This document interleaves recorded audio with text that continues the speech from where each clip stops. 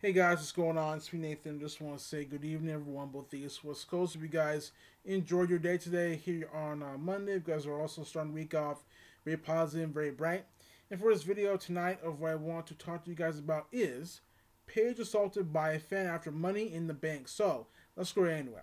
The link will be in the description down below. This is from RingsideNews.com, posted by Darshan Seth, posted on the 18th of June 2018, posted today here on Monday beginning of this week, says some wrestling, fa- uh, some wrestling fans always come up with ways to take things to the extreme by causing harassment to these superstars in their own inappropriate way.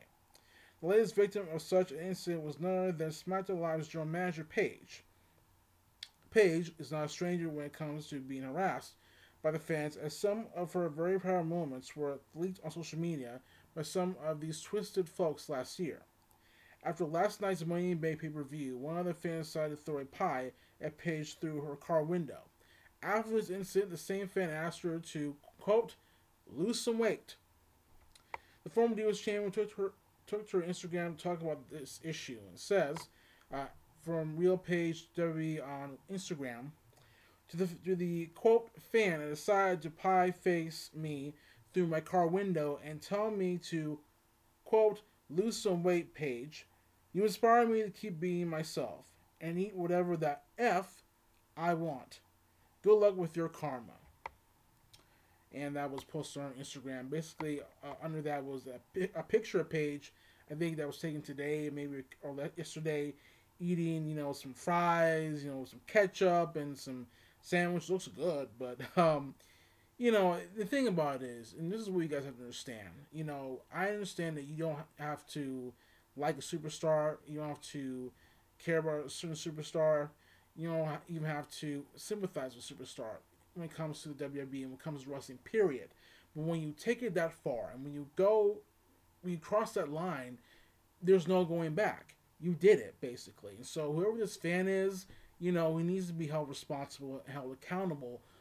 But at the same time, we have to understand is that, you know, we're grown ups and we're better than this. And and for us to, you know, go to the lengths as this fan did, it was just wrong. It's just wrong. It's just cruel to Paige because Paige has really gone through a lot over the past couple years with her leaving. Well, actually, when her, she got injured in WWE, then married Alberto, Alberto Del Rio, um, left the divorce. Uh, two of them ended their marriage later on. She was involved in that uh, domestic violence incident that happened, and then other events that just uh, caused Paige to have a downward spiral, and now she's you know back in the company.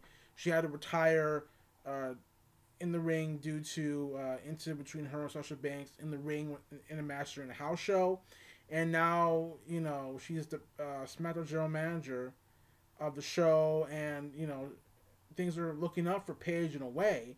And now this, all of a sudden, I, I feel bad for her. I just think that it's unfortunate that we have fans like this who had no, who didn't care at all of what, uh, who didn't actually care about Paige's feelings. And, you know, it's okay to not like someone, but when you do something like this, it's taking it too far, like I said before.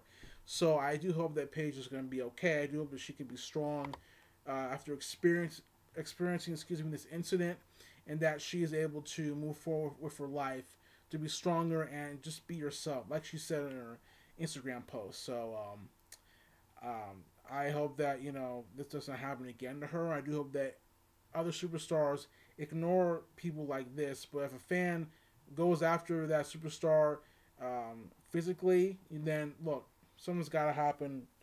That person has to be held accountable. You know, I don't think that fans should at least, you know, um, make a scene or cause any disturbances because they work for the WWE. The WWE does not want that.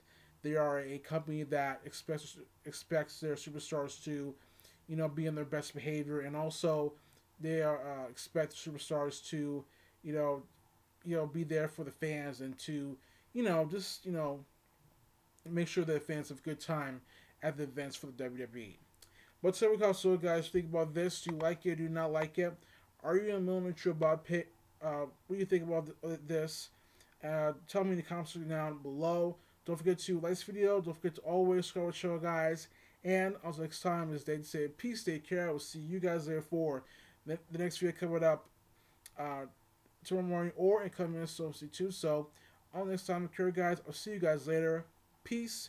Uh, have a good night. See you guys there for next video coming up right now. So stay tuned. And I am out. Bye.